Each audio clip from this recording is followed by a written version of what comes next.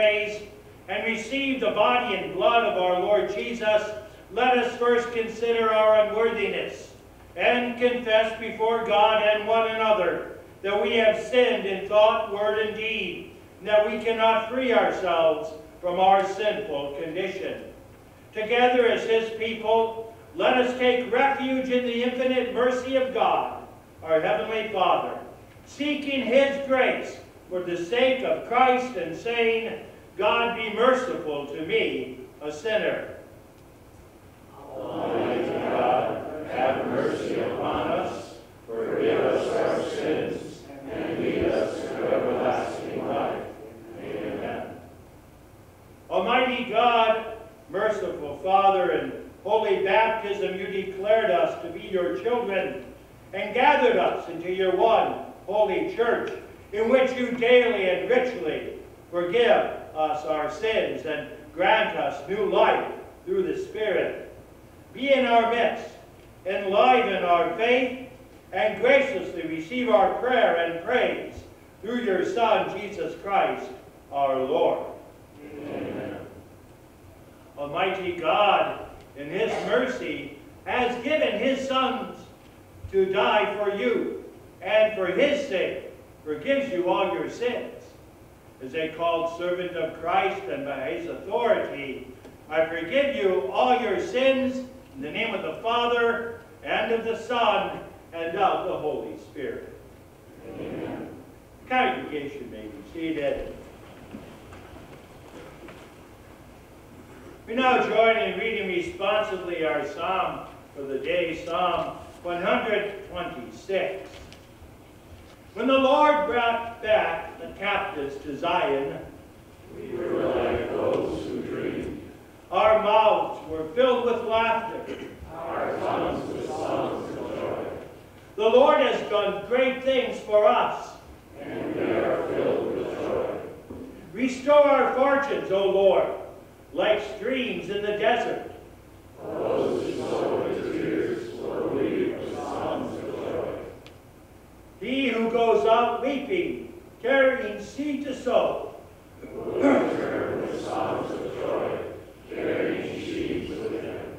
Glory be to the Father, and to the Son, and to the Holy Spirit. As it was in the beginning, is now, and will be forever. Amen. We pray, O God, you rule over all things in wisdom and kindness. Take away everything that may be harmful, and give us whatever is good. Through your Son, Jesus Christ our Lord, who lives and reigns with you and the Holy Spirit, one God, now and forever. Amen. Our first scripture lesson for today is in the book of Deuteronomy in chapter 5, beginning with verse 12. Here the Lord gives the commandment concerning the Sabbath day, a day of physical rest, but also a day that's set aside for hearing God's word and worshiping. Observe the Sabbath day by keeping it holy as the Lord your God has commanded you. Six days you shall labor and do all your work, the seventh day is a Sabbath to the Lord your God. On it you shall not do any work, neither you, nor your son, or daughter, nor your male or female servant, nor your ox, your donkey, or any of your animals, or any foreigner residing in your towns so that your male and female slaves may rest as you do. Remember that you were slaves in Egypt, that the Lord your God brought you out of there with a mighty hand and an outstretched arm. Therefore the Lord your God has commanded you to observe the Sabbath day. This is the word of the Lord. Our second reading is from Paul's second letter to the Corinthians in chapter 4, beginning with verse 5. Paul writes, For what we preach is not ourselves, but Jesus Christ as Lord, and ourselves as your servants for Jesus' sake. For God, who said, Let light shine out of darkness, made his light shine in our hearts, to give us the light of the knowledge of God's glory displayed in the face of Christ. But we have this treasure in jars of clay to show that this all-surpassing power is from God and not from us. We are hard pressed on every side, but not crushed, perplexed, but not in despair, persecuted, but not abandoned, struck down, but not destroyed. We always carry around in our body the death of Jesus, so that the life of Jesus may also be revealed in our body. For we who are alive are always being given over to death for Jesus' sake, so that this life may also be revealed in our mortal body, so that death is at work in us, but life is at work in you. This is the word of the Lord. Please rise for the reading of the gospel.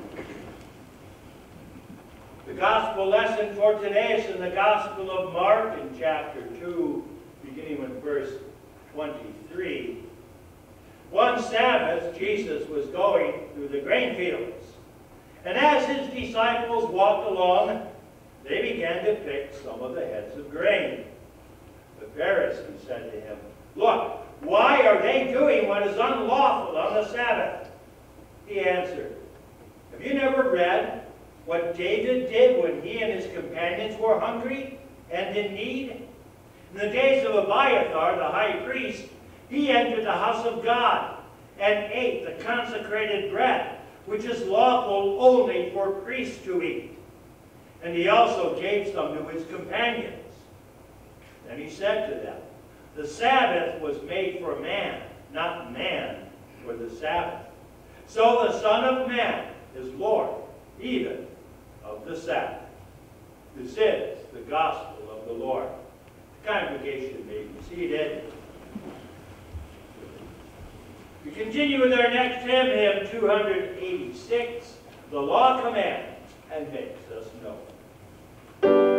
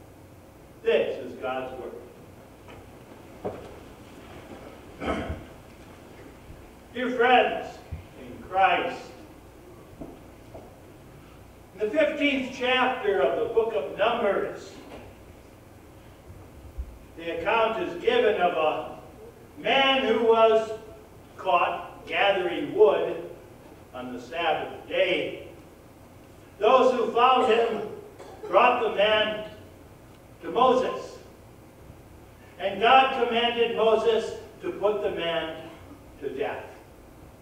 They were to take him outside the camp and stone him to death. God is serious about his commandments. So, should we be surprised then that the Pharisees were so serious when they thought that Jesus' disciples were breaking the Sabbath? See, the problem was not that the Pharisees took the Sabbath too seriously and needed to lighten up. No, the problem was that the Pharisees failed to see what the Sabbath was really all about. That word Sabbath means rest. But the Sabbath was not all about outward rules and, and regulations to enforce a day off. No, that Sabbath rest was a picture. A picture that pointed ahead to the true rest that the Messiah would bring. And Jesus Christ has gained that true rest for us. He alone is the true Sabbath rest, the rest we so desperately need. And he gives us that, that rest. He, he calls to us, Come to me, all you who are weary and burdened, and I will give you rest. Rest for your souls. And so, today, let's remind ourselves then that we find our Sabbath rest in Christ, so that we can rest in his wounds, rest in his works, and rest in his word. What is it that burdens our souls? In a word, guilt. Well, we can try to hide it, but our consciences know. Our consciences know the, the words that come from an angry heart that intend to, to tear down, to, to hurt somebody. Our consciences know how often we chase after the things of this world while pushing God and His Word into the background. Our consciences know how often our thankfulness and gratitude is drowned out by coveting the things that we don't have, worried about. How are we ever going to hold on to those things that we do have? And our consciences know that God knows all these things much better than we do. Yes, guilt can be quite a burden. Well, we could try to bury that burden, pretending that, well, our sins really aren't all that bad. I mean, not an axe murderer. Or we could maybe try to balance out the scales. Work at trying to do as many good things as, as the, the wrong that we do. We could pretend that, well, if I'm sorry enough, well, that'll somehow ease the burden of my guilt. Yet all of that fails. The hymn writer who wrote Rock of Ages, he, he nailed it right on the head when he said, Not the labors of my hands can fulfill the law's demands. Could my zeal no respite know? Could my tears forever flow? All for sin could not atone. Thou must save, and thou alone. Only Jesus can lift that burden of guilt and sin from us. And he did it by lifting it up, taking it into his own body, carrying that, that weight for us, and nailing it to the cross with him. And so we can find rest in, in Jesus' wounds. Because yes, he was stricken, smitten, and afflicted for us. We can find rest in his wounds because his blood paid the full price for all of our sins to, to set us free from sin and guilt. Amen.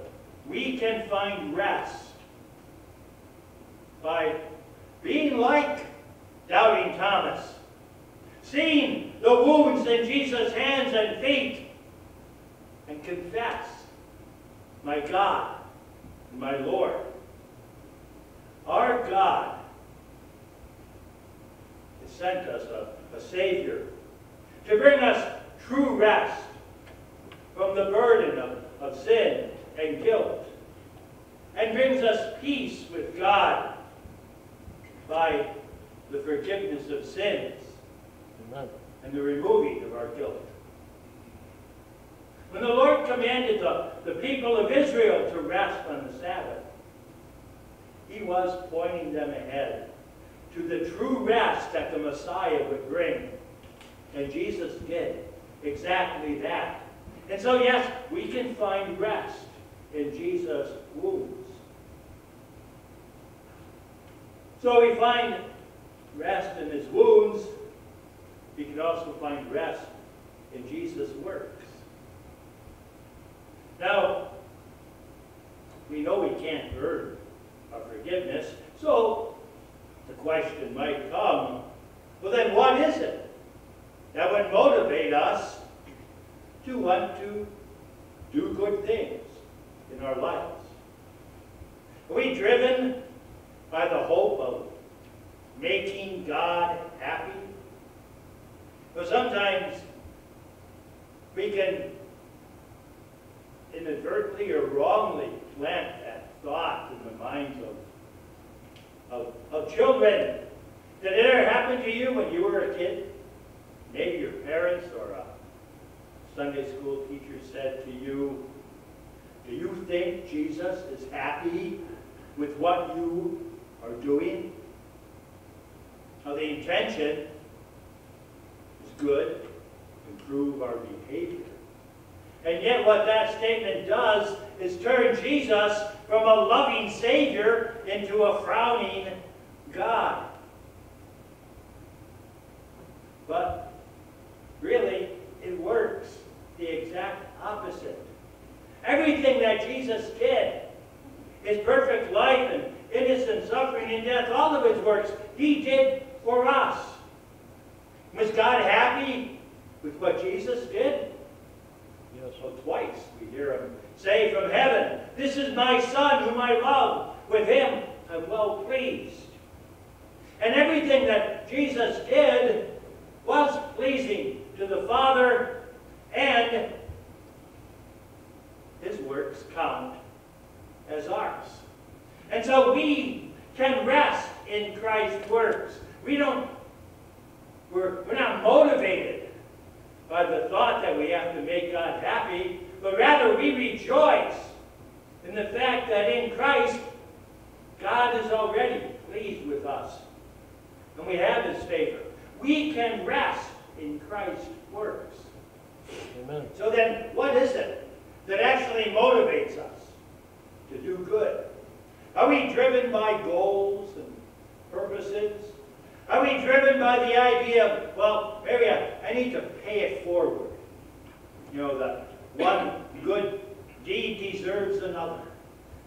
Are we driven by the fear of losing our salvation or suffering in this life if we mess up? None of that is resting in Christ's works. On the other hand, resting in Christ's works doesn't mean that, that we can be spiritually lazy or, or apathetic. Doesn't mean that we can think, well, okay, Jesus did it all for me, so now I can live how, however I want to. No, resting in Christ's works means that we daily put off our, our sinful nature. It means that we let our new self, created in us by the Holy Spirit and sacrament, strengthened by the Lord's Supper, we let that guide and direct us through life. When we rest in Christ's works, then his love fills us with love for him and for one another. And that love moves us to do what is good. It fills us with, with energy, with eagerness, with thankfulness that can't help but want to serve the Lord. So let's rest in, in Christ's works. Finally, we can rest in Christ's word. Why do we need to rest in his word? Because his word is what brings his love to us. His word is powerful and, and effective, like that sharp double-edged sword that, that penetrates the heart. And that word then lifts the burden of guilt from us. Our new selves delight in God's word. We find joy in that word because it gives us the strength to do what is good, the strength to love others, the strength to follow Jesus no matter what it takes. Jesus told his followers, if the Son sets you free, you are free indeed. We are free to love him who died for us. The Lord commanded physical rest for the people of Israel on the Sabbath day, not just so they could have a day off, but that they would also devote that day to worship, to praise, to hearing God's word. So also we then, let us devote this day to hearing God's word.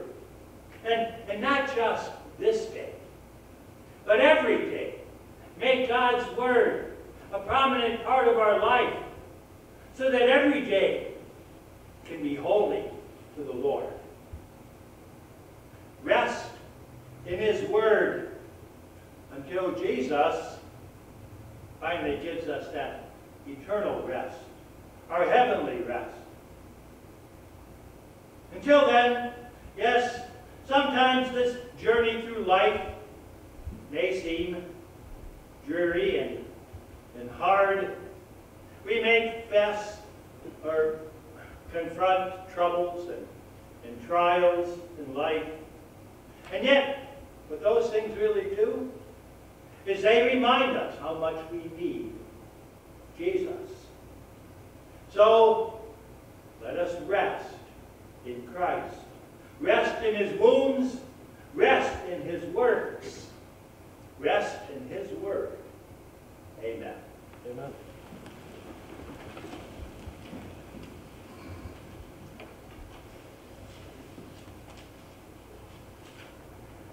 And may he who has begun his good work in us bring it to completion in the day of our Lord Jesus Christ. Amen. Now let us join in confessing our faith using the words of the Nicene Creed. We believe in one God, the Father, the Almighty, maker of heaven and earth, of all that is seen and unseen. We believe in one Lord, Christ, the only Son of God, eternally begotten of the Father, God from God, light from light, true God from true God, begotten, not made, of one being with the Father. Through him all things were made. For us and for our salvation, he came down from heaven, was incarnate of the Holy Spirit and the Virgin Mary, and became fully for our sake he was crucified under Pontius Pilate. He suffered death and was buried. On the third day he rose again in accordance with the Scriptures.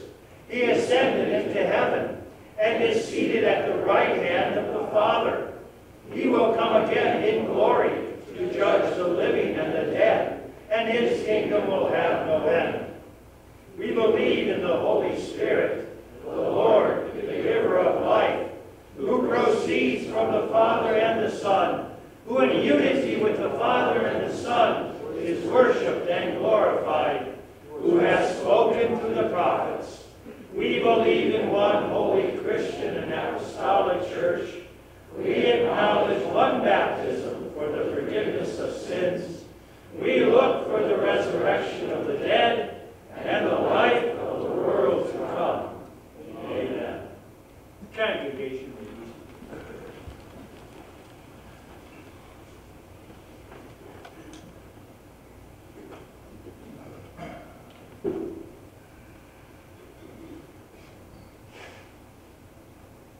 We'll continue and join him in singing the first verse of hymn 268, Lamb of God, Pure and Holy.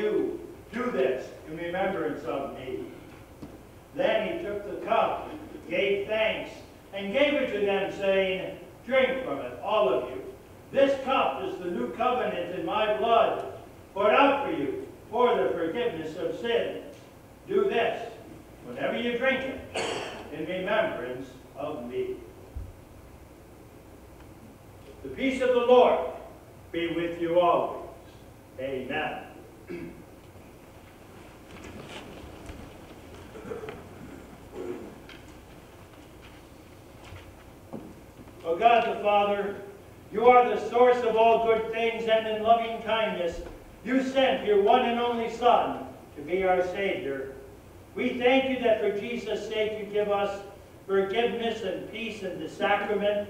We pray that you'll never forsake us, but always live and rule in our hearts and minds by the Holy Spirit, so that we love, trust, and serve you day after day. We ask this in Jesus' name, who lives and reigns with you and the Holy Spirit, one God, forever and ever. Amen.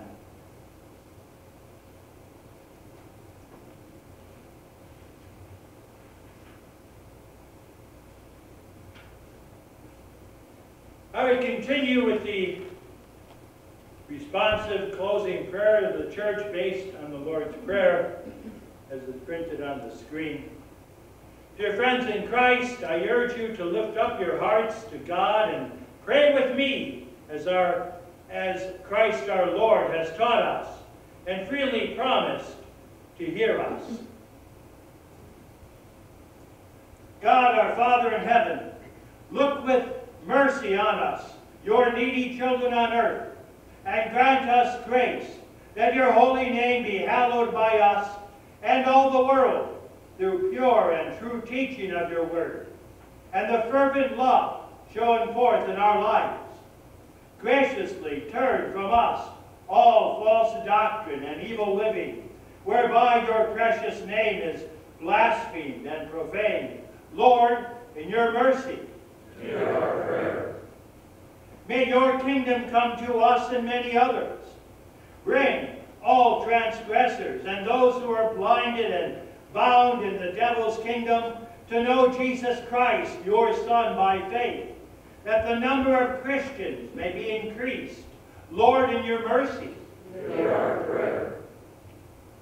Strengthen us by your Spirit according to your will, both in life and in death, in the midst of both good and evil things, that our own wills may be crucified daily and sacrificed to your good and gracious will. Into your hands we commend all who are in need, praying for them at all times. Your will be done. Lord, in your mercy, hear our prayers. Grant us our daily bread.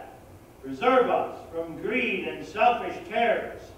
And help us trust in you to provide for all our needs. Lord, in your mercy, hear our prayer.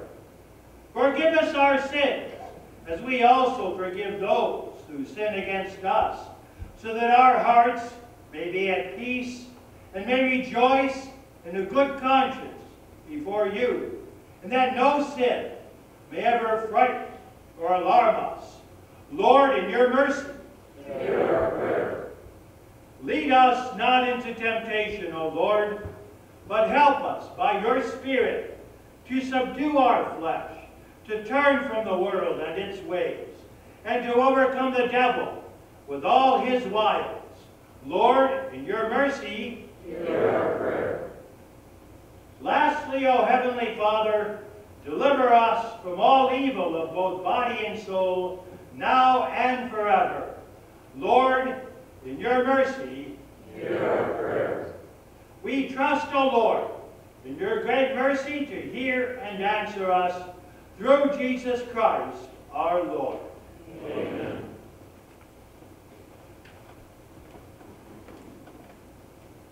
Congregation may be seated. We conclude our worship with hymn 316, O Jesus, blessed Lord to thee.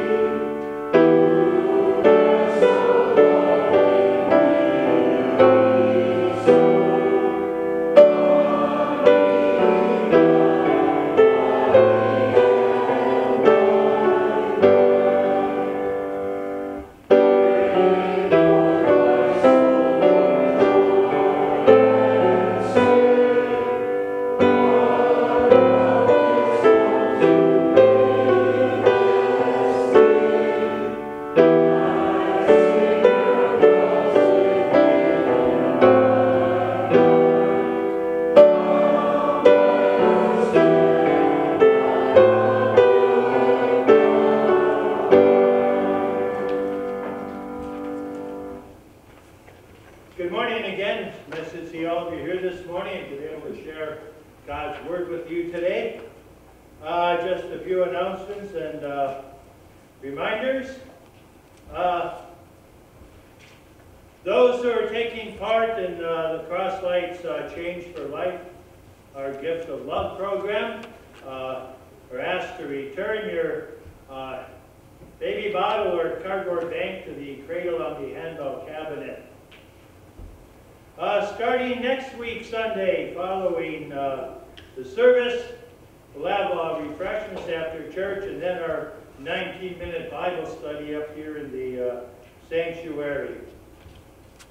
Uh, and right after this service, in fact, right after I'm done speaking, I assume then, uh, we have a special congregation meeting to discuss the shingling of the uh, church roof.